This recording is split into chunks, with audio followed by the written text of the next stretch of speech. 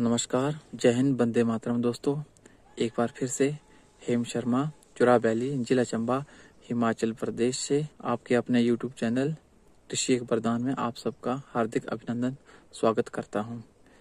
तो दोस्तों, आज जो मैं अपने बगीचे में जीवामृत डाल रहा था तो मैंने सोचा क्यों ना आप लोगों के साथ मैं शेयर करूँ कि कैसे मैं नीचे जो ज़मीन पर अपने सेब के पेड़ों में जीवामृत डालता हूँ कैसा, कैसी व्यवस्था मैंने बनाई हुई है, क्या मैं तने के पास डालता हूँ, या मैं तने के दूर डालता हूँ तो ये सारी जो जानकारी है मैं आप लोगों के साथ, अपने बागवान भाइयों के साथ साझा करूँगा। आप भी अपने स्तर पर, अपनी बागवानी में, अपने एक्सपीरियंस के अनुसार, अपनी समझ के अनुसार कुछ न कुछ जो ज़मीन में डालते होंगे।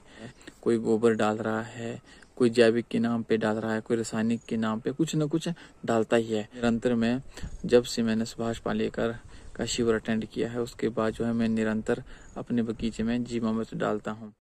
बागवान साथियों, जैसा कि आप देख सकते हैं, आपके सामने जो पेड़ दिखाई दे रहा है और दूसरा पेड़ हमारा इस तरफ़ है और एक इस तरफ़ है पेड़।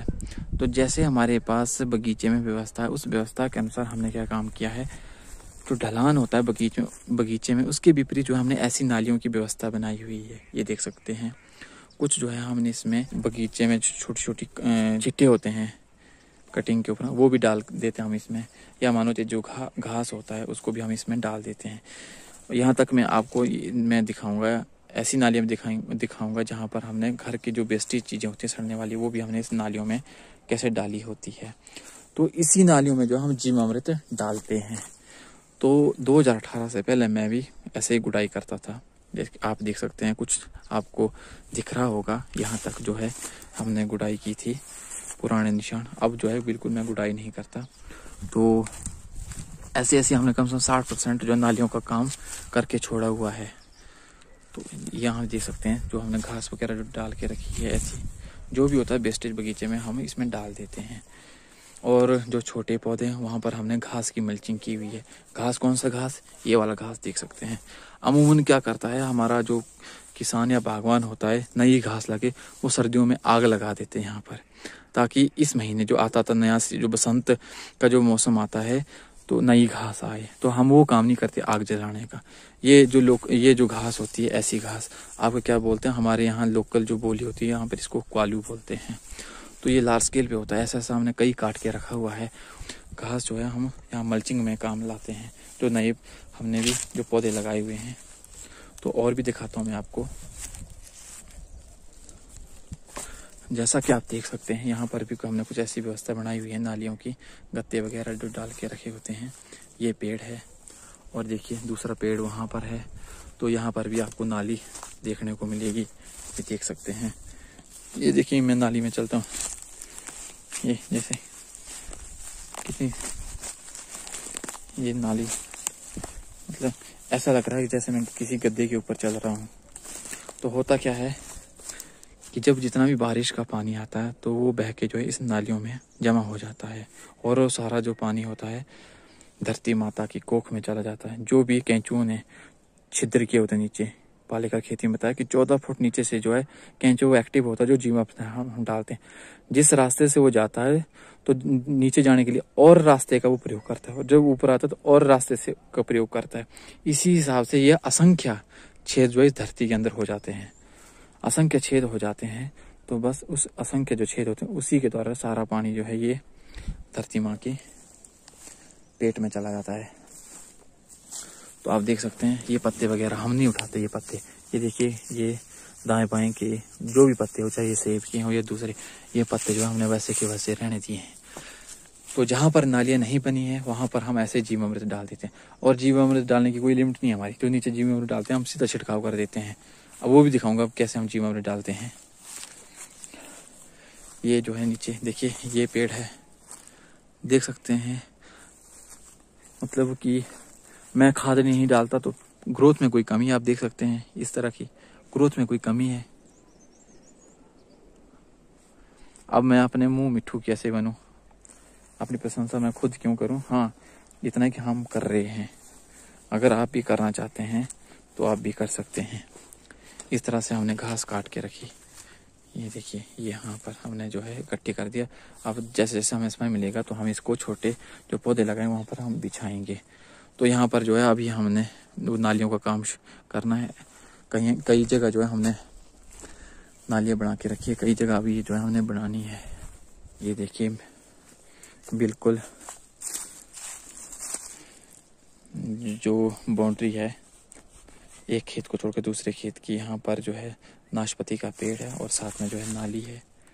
तो यहाँ से इसकी जड़ खुद आएगी यहाँ पर। जो भी इसको चाहिए होता है यहाँ पर, जो भी कैंचों के द्वारा, जो इस नीचे से जितने भी जो इस ज़मीन के अंदर जो न्यूट्रेंट है, पोषक तत्व हैं, जो यहाँ पर छोड़े होते हैं बिष्टा के रूप में तो ये पेड़ पौधे खुद पे खुद ले लेते हैं।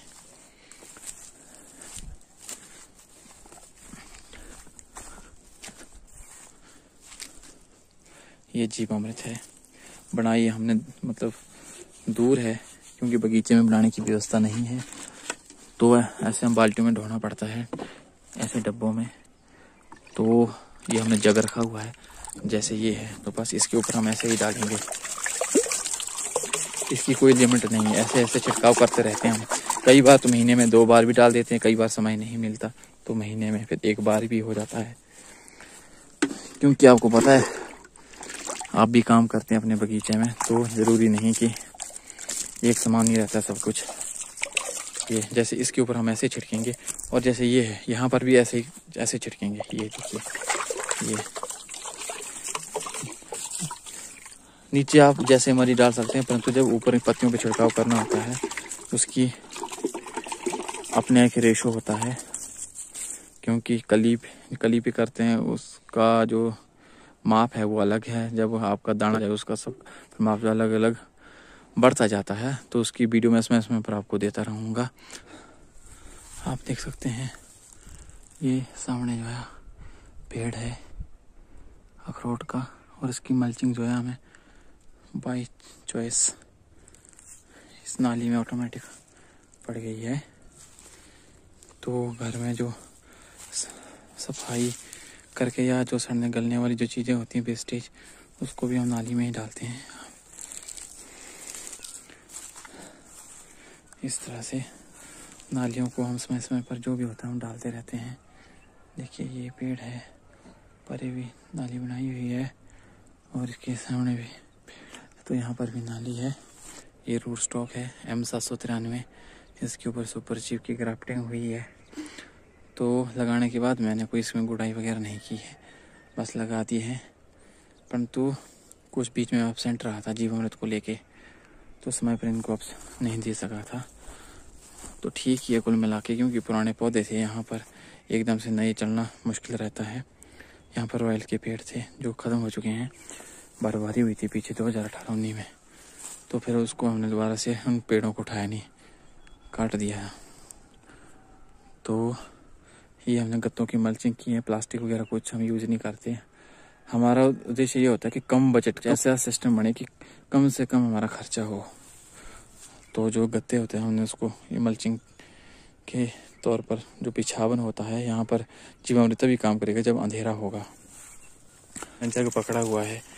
तो इस नाली में अगर दो लीटर से भी छिड़काव हो जाता तो हम दो लीटर ही डालेंगे नाली में। अगर नाली लंबी है तो चार लीटर भी लग सकता है छः लीटर भी लग सकता है। इसमें ऐसा कोई थम रूल नहीं है कि भाई इसमें इतना ही डालेंगे। बाकी जो अगर मान लो छोटे एक दो दो साल के होते हैं तो उसमें आधा लीटर भी चला जाता है। आधा लीटर से ज़्यादा भी जाता होगा, क्योंकि हम तो सीधा छिड़काव करते हैं। बाकी नुकसान तो कोई नहीं देखा मैंने इसका। और साथ में जब आप जीवामृत का छिड़काव कर रहे हो, या सुबह का समय हो, या शाम का समय हो, अगर ऐसा मौसम होता है फिर तो सोने पे सुहागा है, क्योंकि बादल छाए हों।